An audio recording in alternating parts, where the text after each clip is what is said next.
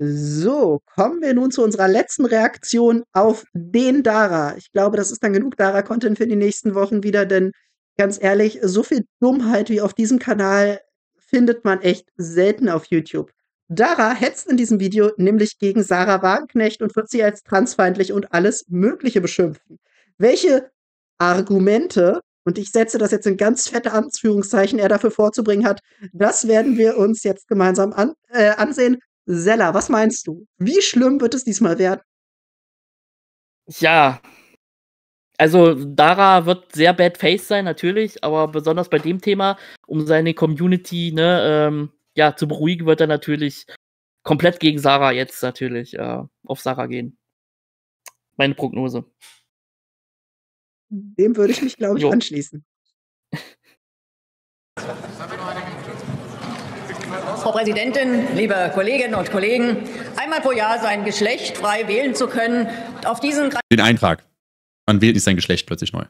Grandiosen Freiheitsgewinn haben Millionen Bürgerinnen und Bürger sicher seit Jahren sehnlichst gewartet. Zumal ja, äh, es gibt viele Gesetze, die bringen den meisten Menschen nichts. Äh, also beispielsweise, dass jemand, der eine Behinderung hat, einen Rollstuhl bekommt. Das ist ein System, das haben wir geschaffen. Das bringt den meisten Menschen aber nichts, weil die meisten Menschen brauchen keinen Rollstuhl. Deshalb ist diese, äh, dieses ganze, ne, also das kann ich praktisch bei ganz vielen Gesetzen machen. Ja, das bringt ja den meisten Menschen nichts. Das ist immer ein ganz toller Trick, den man dann anwendet. Das ist halt purer Populismus, das ist pure Hetze. Ja, purer Populismus, pure Hetze. Wir haben unsere Regierung, die unser Land deindustrialisiert, die die Bevölkerung verarmt und die es jetzt als großen Freiheitsgewinn verkauft, da ihre komische Gender-Ideologie in ein Gesetz gegossen zu haben. Das ist in der Tat eine Verhöhnung der Bevölkerung und das Wagenknecht, das ähm, kritisiert, ist richtig und wichtig. Also das hm. könnte ich nur dazu sagen. Äh, es ist äh, einfach unterirdisch, psychopathisch. Braucht man nicht. Ne? Vernünftige Demokraten durchschauen sowas und wissen, da werde ich gerade manipuliert, wenn jemand. Vernünftige Demokraten, wie sich vernünftige Demokraten ausdrücken, ich glaube, das schauen wir uns jetzt mal an. So drücken sich vernünftige Demokraten aus. Ich hatte es gerade schon mal gezeigt, ich zeige es euch jetzt nochmal, weil das wirklich, so drücken sich vernünftige Demokraten aus. Also wenn Dara uns solche Vorlagen liefert, dann müssen wir die einfach äh, annehmen, würde ich sagen. So, pass auf. Ihr könnt davon ausgehen, wenn, die, wenn äh, morgen ähm, eine Regierung an die Macht kommen würde, die Transmenschen einsammeln würde, um sie in Vernichtungslager zu schicken. Marie-Louise Vollbrecht würde sich nicht hinstellen und sagen, oh, das wollte ich aber nicht, das geht mir jetzt aber zu weit. Hm, jetzt gehe ich in den Widerstand gegen diese Regierung, weil so, so schlimm wollte, nein, die will die alle tot sehen. Da könnt ihr davon ausgehen. Und das. Ja, das so drücken sich vernünftige Demokraten in der Debatte aus. Ich glaube, damit. Na, vor allem, vor allem finde ich es interessant, dass er so kritisch gegenüber Wagenknecht und allen anderen ne, sind, die Chors abweichen, aber der Regierung selber nie kritisch gegenüber ist. Und alles im Grunde denen nachbetet. Also das finde ich sehr interessant. Ja, das, ich durchschaue die Wagenknecht, durchschaue ich. Aber die Regierung, ah, na, die will so nach Motto, ne? Also das verstehe ich auch irgendwie nicht so eine Rhetorik wert. In einem Land, in dem man nach ihren Plänen über die eigene Heizung oder den Antrieb des eigenen Autos in Zukunft nicht mehr frei entscheiden kann. Aber dann ist es ja richtig, wenn man nur den Eintrag ändert, aber alles beim Alten bleibt. Nicht böse gemeint, verstehe es nur nicht. Ja, das ist ja, das ist ja das Ding. So, ähm, es ist ja nicht so, dass eine Transperson, ähm, dass die sich für das falsche Geschlecht entschieden hat, sondern eine Transperson hat ein Geschlecht ähm, und das falsche Geschlecht wurde bei der Geburt zugewiesen. Ne, ziemlich simpel. So, man, ist eine, man ist ein Mann, aber bei, der aber bei der Geburt wurde zugewiesen, du bist eine Frau. Und dann geht die Transperson zum Amt und sagt, ey, wäre cool, wenn ihr den Eintrag ändert, weil ich bin ein Mann und das wäre super, wenn in den ähm, amtlichen Dokumenten auch steht, dass ich das bin und nicht, dass ich eine Frau bin. Also ihr merkt hier gerade diese konstruktivistische Ideologie von Dara die Gedanken von der Person, die sind die Realität und wenn man das nicht anerkennt, wenn das der Woken-Ideologie entspricht, äh, dann ist man transfeindlich. Nein, Menschen mhm. haben ein mhm. biologisches Geschlecht und es gibt Menschen, die haben eine, eine psychische Störung, eine Genderdysphorie und wenn sie die haben, dann sind sie trans, dann äh, ändern sie zwar nicht ihr biologisches Geschlecht, aber ihr soziales Geschlecht. Das ist jetzt das Konstrukt, was wir da entwickelt haben, aber ihr biologisches Geschlecht ist das, was sie nun mal biologisch haben. Daran kannst du auch nichts ändern. Gott, also. Ich finde ich finde es interessant, dass er aber auch nicht darauf eingeht, was Sarah gerade gesagt hat, ne? Also, dass ähm, ja, du das eben ändern kannst, aber eben nicht, welche Heizung du hast oder welches Auto du fährst. Da, das finde ich interessant, dass er darauf nicht eingeht, weil das wäre doch viel die essentiellere Frage. Ja, weil da hat sie ja recht. Stella, das sind alles böse rechtsradikale Verschwörungstheorien. Und genauso war es ja bei Corona auch, ne? Also ich weiß, du warst da damals noch nicht ganz so kritisch, aber du bist ja im Nachhinein jetzt auch kritischer. Ähm, ja, also auch da, ne, konntest du dich ja auch nicht wirklich entscheiden. Nee, da haben sie gesagt, hier. Aber äh, da haben sie gesagt, hier, entweder du lässt jetzt impfen oder kannst vielleicht nicht arbeiten, kannst dich dorthin, kannst dich dorthin. Äh, ja, da hat man sich, konnte man sich auch nicht wirklich aussuchen, es sei denn, man hat die Repressalien halt ertragen. Und äh, jetzt genauso, ne? Ja, musst jetzt äh, langsam mal auf Elektro, ne? Du musst ja auch mal dir eine, ne, eine andere Heizung einbauen, so, da, das kannst du dir nicht aussuchen. Aber alles andere, was einen marginalen Teil der Gesellschaft betrifft, das kann, das, das ist jetzt ganz wichtig. Und das verstehe ich halt nicht. Ne, der Stellenwert, den man dem beimisst, das, das macht mir nicht, also mir ist es relativ egal, ob das jetzt für die ähm, Transmenschen ist so, ist es gut, sage ich mal. Ähm, ich finde das okay so. Aber diesen ganzen Stellenwert, den man der ganzen Sache beimisst und die Grünen da jetzt auf die Schulter klopfen und denken, sie haben sonst was bewirkt, habe ich ja eben schon in dem Video gesagt. Das finde ich einfach sehr, sehr äh, seltsam. Also, als ob sie damit jetzt hier irgendwie die Welt gerettet hätten. Sorry, also. Ähm, ja, aber äh, kann es froh sein, was ich, noch, äh, was ich noch sagen wollte, kann es froh sein, dass er darauf nicht mehr eingegangen ist. Also Dara würde das alles als Verschwörungstheorie und ganz böse Rechtsframe, mm. wenn er darauf eingegangen wäre. Und das war's. Es ist ein bürokratischer Akt. Es ist nicht so, dass das Geschlecht sich plötzlich von der Person ändert, sondern das richtige Geschlecht wird eingetragen. Und natürlich gehst du auch nicht hin und wahrscheinlich das ist ja nicht das, das auch nur, weil das Problem ist halt, dass du dich äh, willkürlich einfach ändern kannst, jedes halbe Jahr. Das ist das Problem dabei, was ich jetzt daran sehe. Ich habe überhaupt kein Problem mit dem Gesetz an sich, aber ich finde es nur weird, dass man das alle halbe Jahr ändern kann. Also bist du nun trans oder nicht? Ne, weil, also, zumindest diesen kurzen Zeitraum, den sehe ich kritisch. Alles andere, okay, aber. Und, da, und vor allem der Widerspruch, das wird, aber da wird sie, glaube ich, eh nochmal gleich drauf kommen, mit dem ja, wird sie gleich nochmal sagen, denke ich. Weiß nicht was, wirst du so, so fünf, sechs Geschichten mal hören, die es so in den nächsten Jahrzehnten geben wird, dass irgendwer jedes Jahr zum Spaß seinen Geschlechtseintrag ändert oder sowas.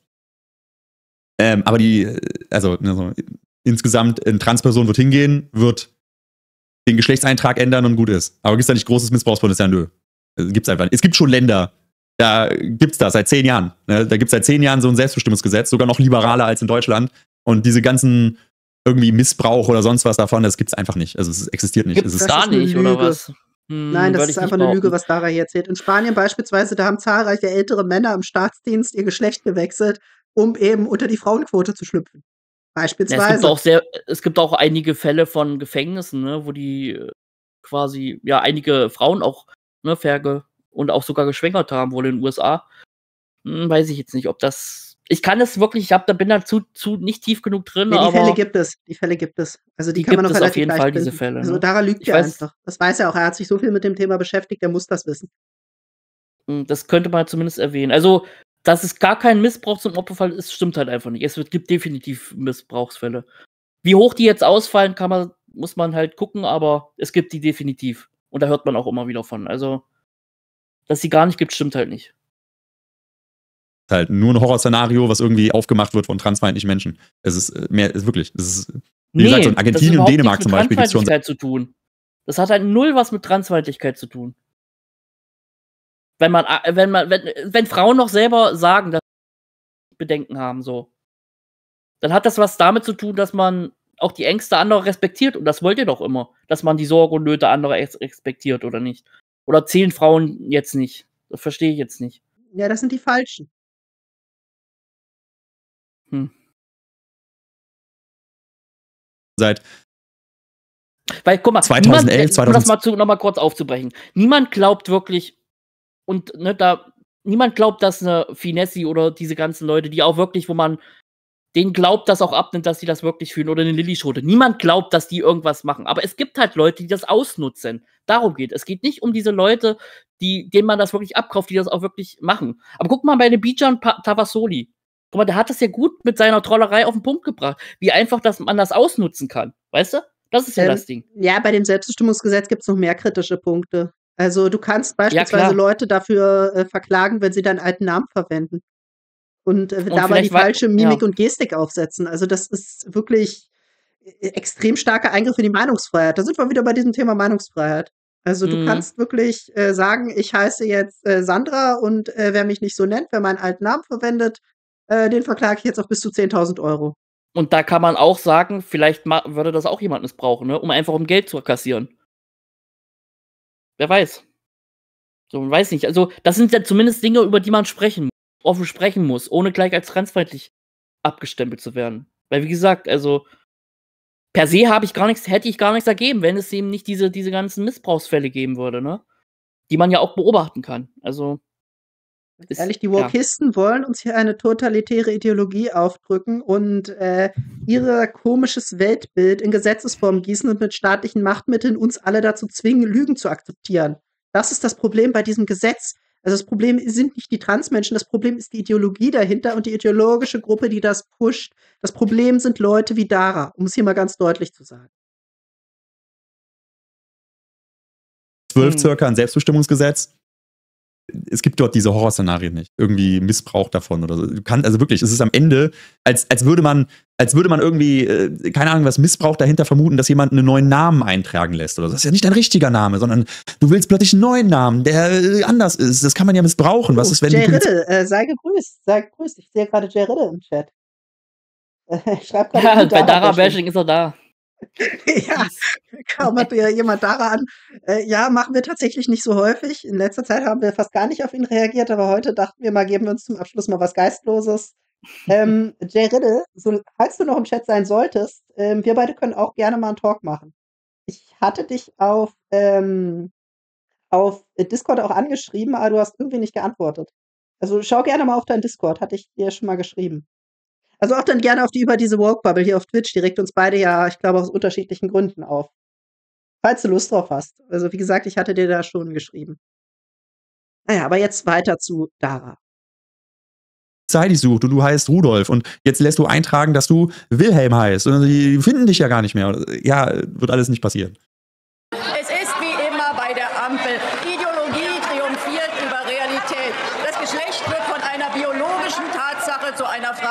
Gemütsverfassung.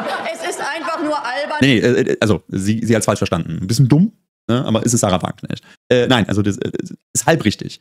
Äh, das Bio ja, es gibt ein biologisches Geschlecht, mit dem wirst du geboren. Ähm, und dann das Problem ist halt bei Transmenschen, dass wir als Gesellschaft denen dann meistens das falsche Geschlecht dann zuweisen. Das heißt, wir Ihr merkt wieder die konstruktivistische Ideologie. Also, wenn ihr das hier richtig verstanden habt, was Dara gerade gesagt hat.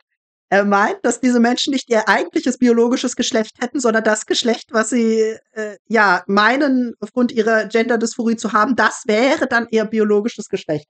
Das behauptet Dara hier gerade. Und wer etwas anderes sagt, nun, der ist nun mal transfeindlich. Was auch sonst. Ähm, geben denen dann einen Geschlechtseintrag, der abweicht von deren biologischen Geschlecht.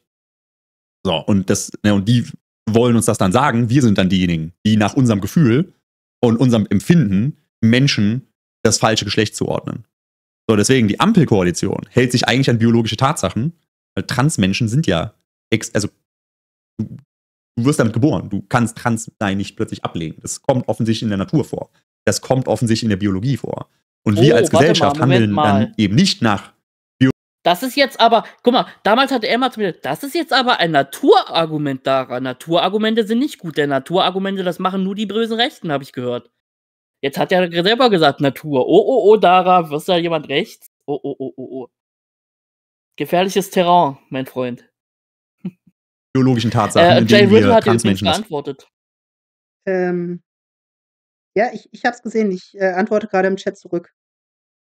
Oh, okay, gut, gut. Wenn es nicht so gefährlich wäre, wenn sich Männer durch großen Sprechakt zur Frau erklären können, gehören Frauenschutzrechte und Frauenschutzräume der Vergangenheit an. Die spanische Zeitung El Mundo berichtet gerade, wie sich wegen häuslicher Gewalt angezeigte Männer mittels des dortigen Selbstbestimmungsgesetzes Zugang zu Frauenhäusern ja, die Zeitung El Mundo ist übrigens, in, also erstmal das die, die spanische Zeitung. Es ist halt auch geil. Äh, Spanien ist eines der Länder, wo ähm, tatsächlich die Toleranz zu Transmenschen am krassesten ausgeprägt ist. Äh, ne, so mit äh, tatsächlich, also ne, Transmenschen sind werden sehr arg toleriert in Spanien, äh, lange Zeit Teil der Kultur und so weiter. Ähm, ne, ich glaube sogar über 70, 80 Prozent Support in der Bevölkerung, was sehr krass ist. Ähm, das schon sehr lange. Äh, El Mundo ist sowas wie äh, der Axel Springer Verlag, sowas wie die Bild in Spanien und äh, dementsprechend verbreiten die rechtspopulistischen Müll. Sie hätte auch die Bildzeitung oder Julian Reichelt äh, zitieren können. Ne? Und wir kennen die Bild, ne? also wir wissen, wie die funktionieren. Die, die erfinden einfach Geschichten. Die denken sich einfach, fuck it. Also wir werden jetzt einfach irgendwas erfinden, damit wir eben die Menschen nach rechts hetzen können. Und deswegen, wenn wenn sie da die Zeitung El Mundo zitiert. Also wirklich, also, keine Ahnung, also könnt ihr mal. El Mundo. Also, äh, Newspaper. Machen wir noch. Jetzt. Äh, äh, äh, äh. äh. Das ist halt. Ne, also, klar, die Aufmachung ist ein bisschen nett, ja. Aber es ist halt. Es ist halt ungefähr genau das Gleiche. Ne? You, you, get the point. Ne? Du hast halt einfach großes Bild, großes Bild, große Letter äh, ne? und so weiter. Ähnlich eben wieder bei der Bildzeitung. Wie gesagt, das ist halt einfach so die Bildzeitung aus Spanien. Die heißt schon so wie die Welt bei uns. Genau, El Mundo heißt halt die Welt. Ne? Aber wir haben ja auch Welt und wir haben die Welt. Ne? Muss man auch nochmal unterscheiden. In die ihre Partnerinnen geflohen sind. Und statt zu hinterfragen, warum viele Mädchen. Ja, also nur so. Wir könnten jetzt natürlich die Geschichte recherchieren, aber El Mundo hat das berichtet und Sarah Wagenknecht zitiert das hier. Wahrscheinlich ist das nie passiert. Sarah mag die Zeitung nicht, okay. deswegen ist es nie passiert. Wir könnten mm. das recherchieren, aber ich mag die Zeitung nicht. Was soll man dazu noch ja, sagen? Ist irgendwie, naja. Und wie gesagt, in Argentinien und in Dänemark gibt es schon seit glaube, über zehn Jahren Selbstbestimmungsgesetz. Diese Sachen sind nicht passiert. Es ist einfach nicht passiert. Also wirklich. Also natürlich, irgendwo gibt es immer den einen Fall oder sowas. Aber so machen wir keine Gesetze. Bei jedem Gesetz, was man irgendwie macht, gibt es irgendwie äh, Missbrauch mal, ne, so, keine Ahnung, es, äh, denkt an irgendein Gesetz, ihr werdet. Wollen wir zum Fazit vorspringen? Also, das wird mir hier langsam echt zu dämlich. Ja, er rudert so ein bisschen, ne, irgendwie. Ja. Ich glaube, hier ist das Fazit.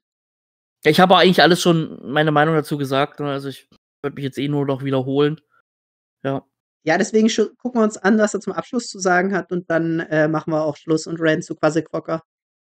Das war's. Das sind, das sind sämtliche politischen Positionen, die sie praktisch dort ausdrückt. Da ist nichts mit, hey, der Gender Pay Gap, der ist ziemlich weit auseinander und so weiter. Nee, der, sie geht sogar gegen sämtliche Feministinnen, die sich dafür aussprechen, dass da, dass da vielleicht mal was gemacht werden müsste. Ja, es gibt viele Feministinnen, die haben sich gegen dieses bescheuerte Selbstbestimmungsgesetz ausgesprochen. Aber mhm. die sind ja alle böse und rechts und TERFs und was weiß ich nicht. Also Dara hat direkt ja. davor ein Video gemacht, wo er diese ganzen Feministinnen als Turfs beschimpft. Hier, ich kann es euch mhm. zeigen. Ja, das ähm, ist auch irgendwie. Ja, hier, äh, die Fischbiologin und ihre Turf-Freundinnen heulen wegen dem Selbstbestimmungsgesetz. Also direkt das Video danach. ja, weiß ich nicht, Dara, kannst du, dich, kannst du dich in Frauen reinversetzen, Dara, oder eher nicht? Ja, das so? sind die falschen Feministinnen. Die liegen automatisch falsch. Die, dass sie vielleicht Bedanken, Bedenken dabei haben, naja, gut.